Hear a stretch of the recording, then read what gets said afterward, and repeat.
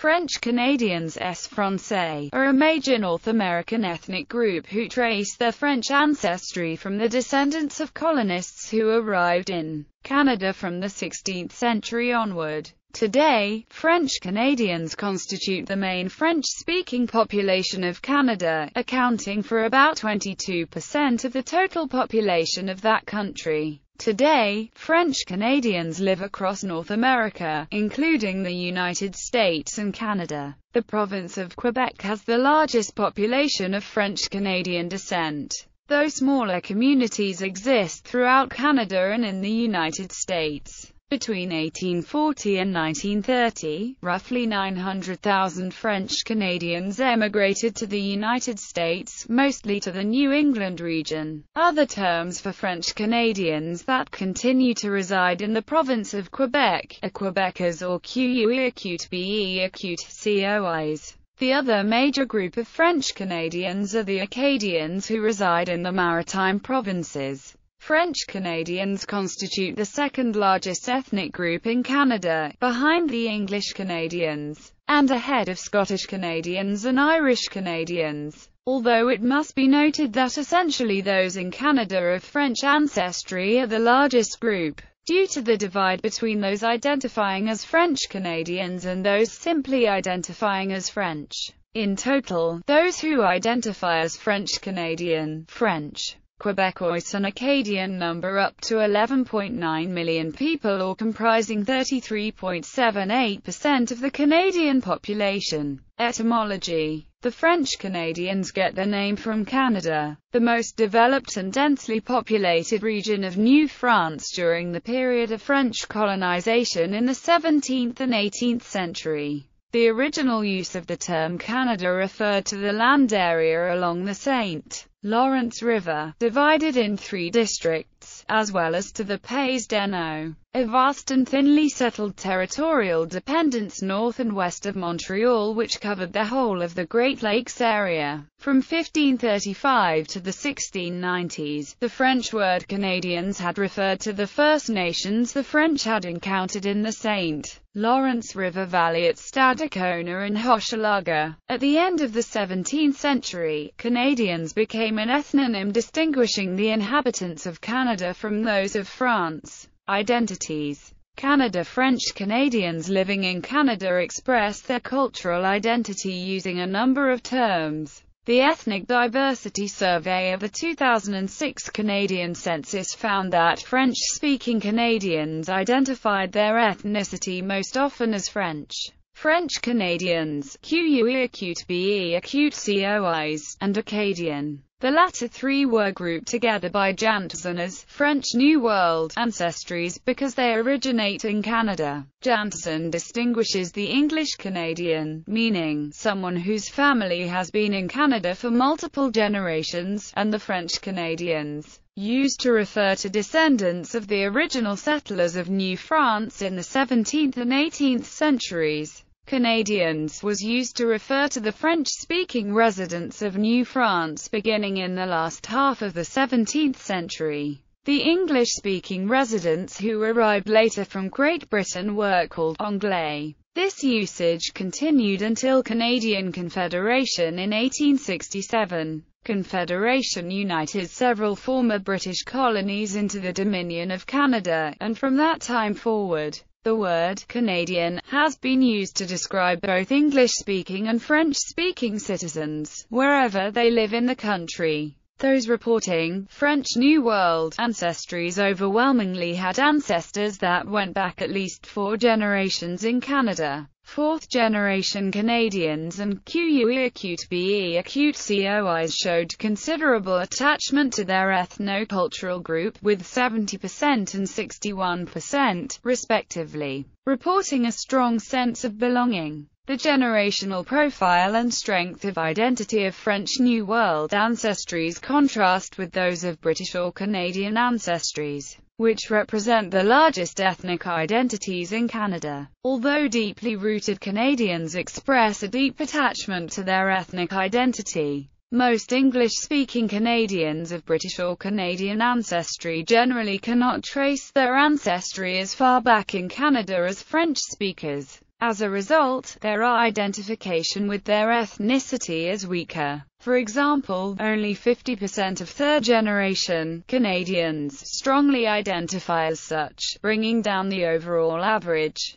The survey report notes that 80% of Canadians whose families had been in Canada for three or more generations reported Canadian and provincial or regional ethnic identities. These identities include French New World ancestries such as QUE acute BE acute COIs, Acadian, Quebec Since the 1960s, French Canadians in Quebec have generally used QUE acute BE acute COIs or Québécois to express their cultural and national identity, rather than Canadiens Français and Canadienne Française. Francophones who self-identify as QUE acute BE acute COIs and do not have French-Canadian ancestry may not identify as French-Canadian. Those who do have French or French-Canadian ancestry, but who support Quebec sovereignty, often find Canadians Francais to be archaic or even pejorative. This is a reflection of the strong social, cultural, and political ties that most Quebecers of French-Canadian origin, who constitute a majority of Francophone Quebecers, maintain within Quebec. It has given QUE acute BE acute COIs an ambiguous meaning which has often played out in political issues, as all public institutions attached to the provincial government refer to all Quebec citizens, regardless of their language or their cultural heritage, as QUE. Elsewhere in Canada the emphasis on the French language and Quebec autonomy means that French speakers across Canada may now self-identify as QUE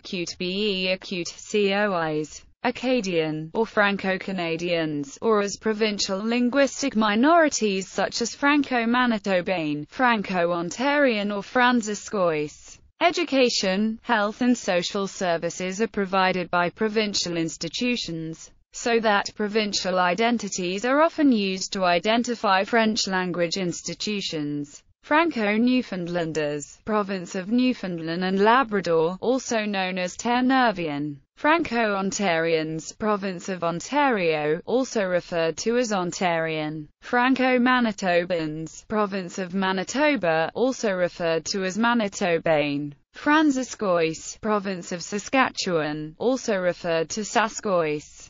Franco-Albertans, Province of Alberta, also referred to Albertane. Franco-Columbians, Province of British Columbia mostly live in the Vancouver metro area, also referred to as Franco-Columbian. Franco-Yukonese, Territory of Yukon, also referred to as Yukonese. Franco-Ténois, Territory of Northwest Territories, also referred to as Ténois. Franco-Nunavut, Territory of Nunavut, also referred to as Nunavut. Acadians residing in the provinces of New Brunswick, Prince Edward Island and Nova Scotia represent a distinct Francophone culture. This group's culture and history evolved separately from the French-Canadian culture of Quebec at a time when the maritime provinces were not part of what was referred to as Canada, and are consequently considered a distinct cultural from French Canadians. Brayons in Madawaska County, New Brunswick and Aroostook County, Maine may be identified with either the Acadians or the QUE acute BE acute COIs, or considered a distinct group in their own right, by different sources. French Canadians outside Quebec are more likely to self-identify as French Canadian. Identification with provincial groupings varies from province to province, with Franco-Ontarians, for example, using their provincial label far more frequently than Franco-Columbians do. Some identify only with the provincial groupings, explicitly rejecting French-Canadian as an identity label. United States During the mid-18th century, French-Canadian explorers and colonists colonized other parts of North America in what are today Louisiana, Mississippi, Missouri, Illinois, Wisconsin, Indiana, Ohio, far northern New York and the Upper Peninsula of Michigan as well as around Detroit. They also founded such cities as New Orleans and St. Louis and villages in the Mississippi Valley.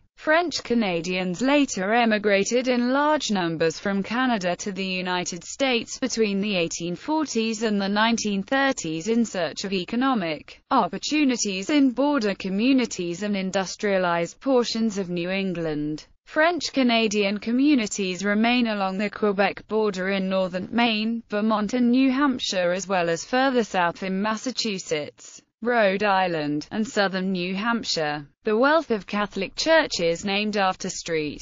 Louis throughout New England is indicative of the French immigration to the area. They came to identify as Franco-American, especially those who were born American. Distinctions between French-Canadian, natives of France, and other New World French identities is more blurred in the U.S than in Canada, but those who identify as French-Canadian or Franco-American generally do not regard themselves as French. In L'Avenir du Français états unis, Calvin Veltman finds that since the French language has been so widely abandoned in the United States, the term French-Canadian is there understood in ethnic rather than linguistic terms. French-Canadian identities are influenced by historical events that inform regional cultures. For example, in New England, the relatively recent immigration is informed by experiences of language oppression and an identification with certain occupations, such as the mill workers. In the Great Lakes,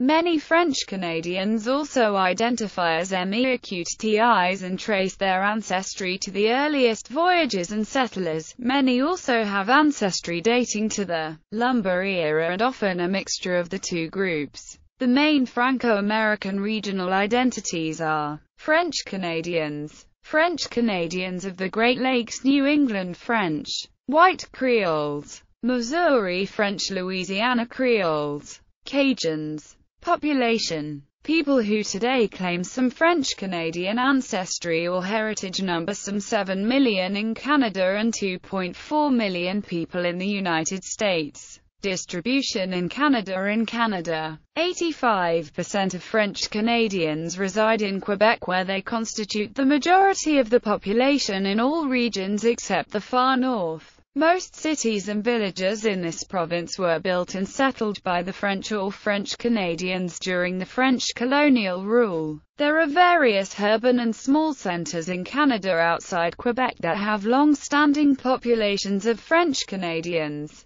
going back to the late 19th century. Eastern and Northern Ontario have large populations of Francophones in communities such as Ottawa, Cornwall, Hawkesbury, Sudbury, Welland, Timmins and Windsor. Many also pioneered the Canadian prairies in the late 18th century, founding the towns of St. Boniface, Manitoba and in Alberta's Peace Country, including the region of Grande Prairie. The following table shows the population of Canada's that is of French ancestry. The data is from Statistics Canada. It is important to understand that the French-speaking population have massively chosen the Canadian ethnic group since the government made it possible, which has made the current statistics misleading. The term Canadians historically referred only to a French speaker, though today it is used in French to describe any Canadian citizen. It is estimated that roughly 70% to 75% of Quebec's population descend from the French pioneers of the 17th and 18th century. Comparative table for the 2011 Canadian census distribution in the United States In the United States, Many cities were founded as colonial outposts of New France by French or French-Canadian explorers. They include New Orleans, Louisiana, Mobile, Alabama, Coeur d'Alene, Idaho, Prairie du Rocher and Belleville in Illinois, Dubuque, Iowa, Detroit, Michigan, Biloxi, Mississippi, St. Louis, Missouri, Creve Coeur, Missouri, La Bay, Prairie du Chien, La Crosse, and Milwaukee in Wisconsin, Bourbonnais, Illinois, and Provo, Utah.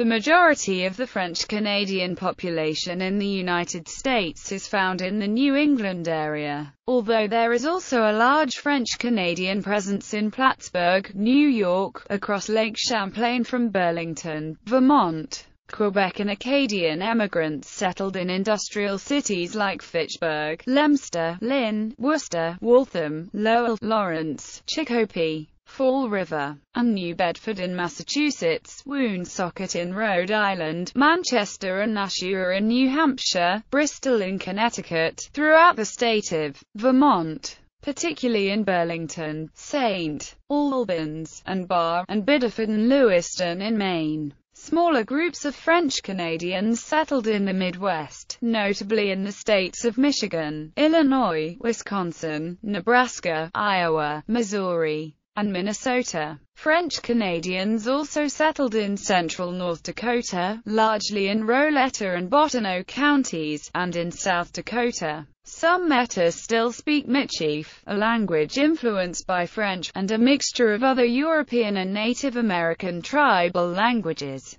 Culture. Language Canadian French is an umbrella term for the distinct varieties of French spoken by Francophone Canadians. QUE acute BE acute COIs, Acadian French, ME acute TIs French, and Newfoundland French. Unlike Acadian French and Newfoundland French, the French of Ontario, the Canadian West, and New England all originate from what is now Quebec French and do not constitute distinct varieties from it, though there are some regional differences. French Canadians may also speak either Canadian English or American English, especially if they live in overwhelmingly English-speaking Canadian provinces or in the United States. In Quebec, about 6 million French Canadians are native French speakers. 599,225 are English-speaking, Anglophones or English-speaking Quebecers, and others are allophones.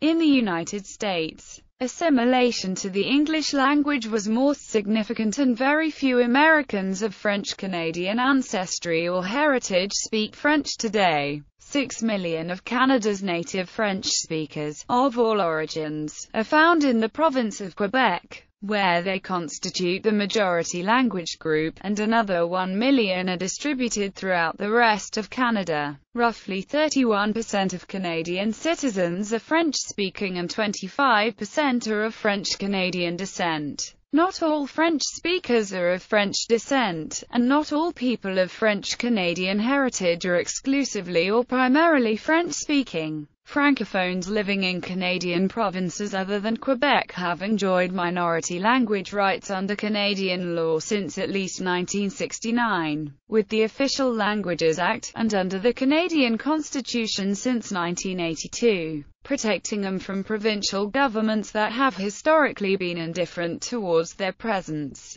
Religion Christianity is the predominant religion of French Canadians, with Roman Catholicism the chief denomination. The Kingdom of France forbade non-Catholic settlement in New France from 1629 onward and thus, almost all French settlers of Canada were Catholic. In the United States, some families of French-Canadian origin have converted to Protestantism. Until the 1960s, religion was a central component of French-Canadian national identity. The church parish was the focal point of civic life in French-Canadian society, and religious orders ran French-Canadian schools, hospitals and orphanages and were very influential in everyday life in general. During the Quiet Revolution of the 1960s, however, the practice of Catholicism dropped drastically. Church attendance in Quebec currently remains low. Rates of religious observance among French Canadians outside Quebec tend to vary by region, and by age. In general, however, those in Quebec are the least observant, while those in the United States of America and other places away from Quebec tend to be the most observant. Agriculture Canadians have selected their own livestock over the centuries, Canadian cattle, Canadian horse Chantecler chicken, etc. Traditionally Canadians had a subsistence agriculture. In eastern Canada this subsistence agriculture slowly evolved in dairy farm during the end of the 19th century and the beginning of 20th century while retaining the subsistence side. By 1960 agriculture changed toward an industrial agriculture.